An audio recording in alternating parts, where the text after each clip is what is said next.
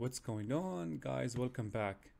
In today's video we're going to talk about the HTTP protocol. We will lay down the basics. So first before talking about the URL structure and example requests and responses the methods and the codes status codes we will start by defining what is the HTTP protocol. So by definition the HTTP protocol is the protocol by which or whereby the browser communicate with the web server. That's how you receive data like HTML pages, images, and videos. Now, there is another version which is more commonly used than HTTP. It is the HTTPS, where you will add or where you add S at the very end of the word. The S stands for secure. Okay. Now, HTTPS recently has become more standard and more common than the HTTP protocol since the adoption of the secure browsing. So most of the time, most of the time when you browse websites, you will see HTTPS. Most of the websites now use HTTPS. And now it has become a ranking signal or ranking factor in Google to have a HTTPS website or a website that uses HTTPS protocol. Okay, now, now, now we defined HTTP and we talked about HTTPS. Let's now understand the URL structure. Now the URL actually is the, the, the thing that or by which your, your browser requests pages on the web server. That's how web server understands your uh, browser request by using a URL. So let's dissect the different URL parts. So at the very first, we have the protocol. So here we have the protocol. Next, as you can see, www.domain.com. Here we have the domain itself, which website I am uh, communicating with. It could be also an IP address. Sometimes you notice some observers do not use domain names. They use uh, straight out IP addresses. So this one could be IP address. Next, we have the page itself.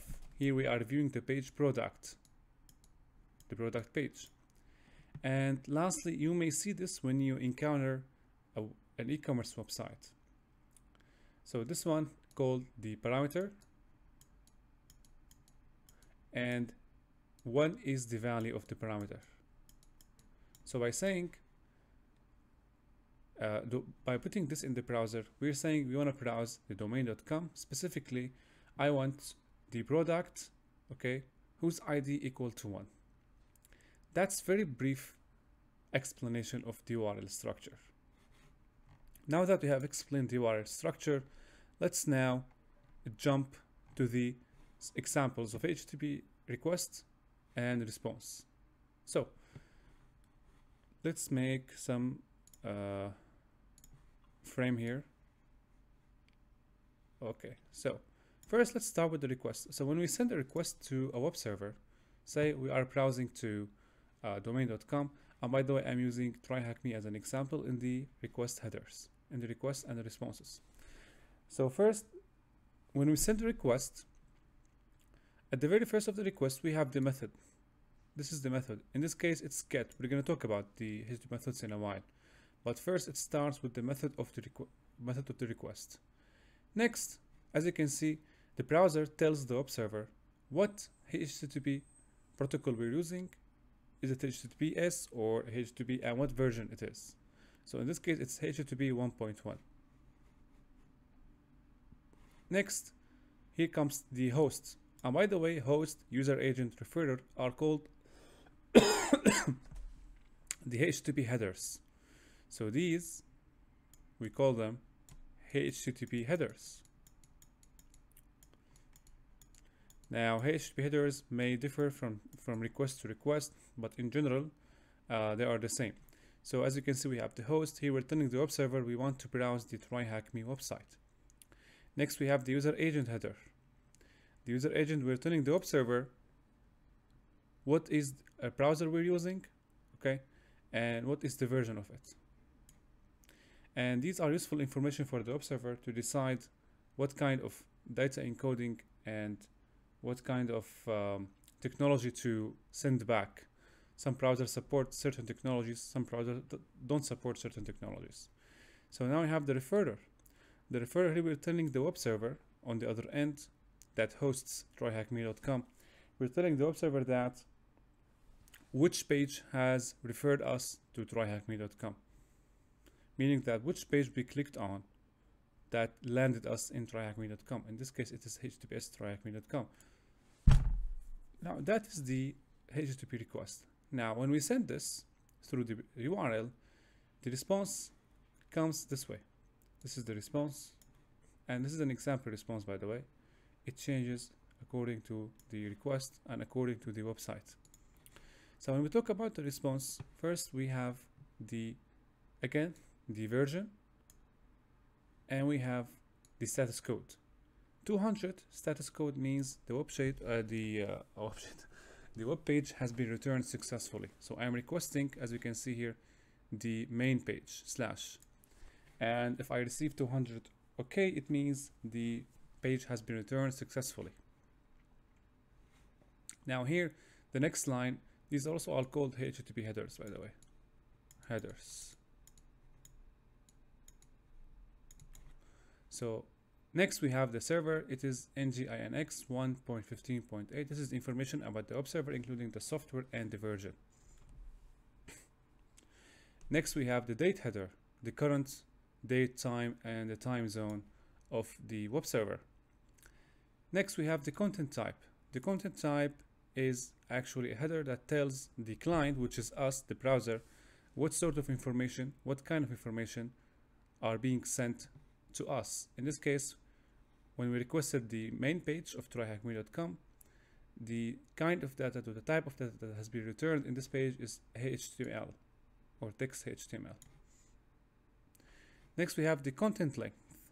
The content length tells me or tells the client or tells the browser how long is the response. Okay, this way we can confirm that there is no data corruption while the request has been sent or while the uh, exchange has been done between the request and the response. And don't forget that after after if every request and every response, we have a blank line. You can consider there's a blank line here and a blank line here that indicates the end of the response or the end of the request. Okay, so we talked about example of uh, hey HTTP request and example of hey HTTP response. Let's now, now talk about the HTTP methods. So methods now or status codes. Yeah, start with methods. So HTTP methods are four, or most commonly we use four. The first one is get.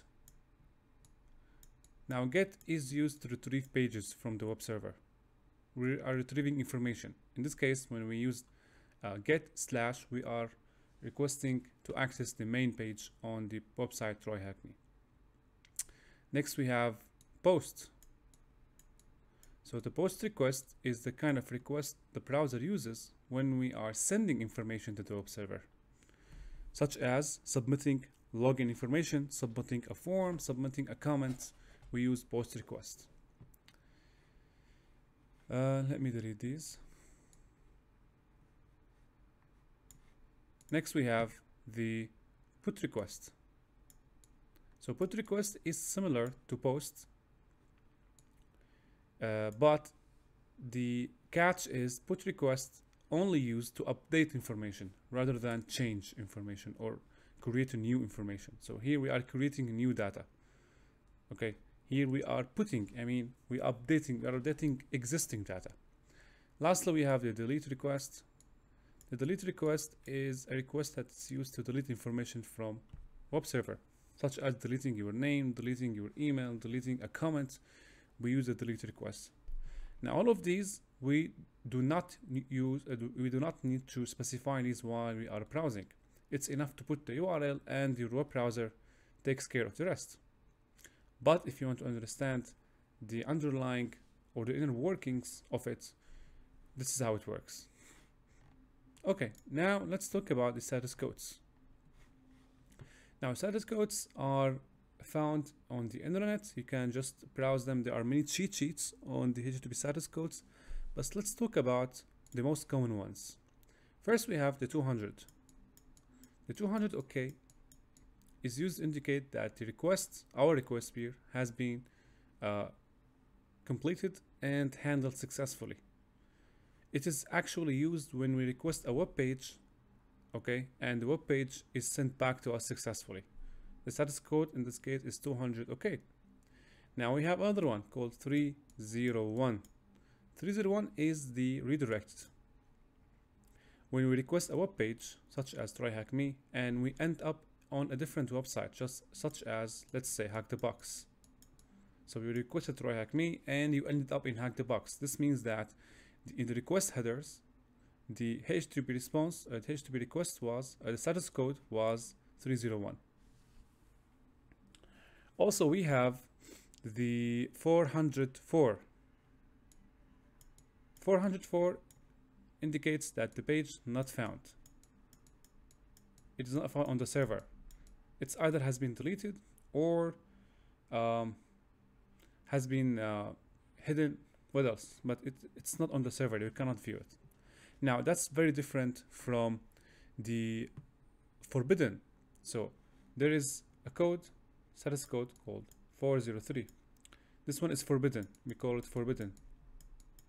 So when we access a page, okay, and in the response you get 403 forbidden.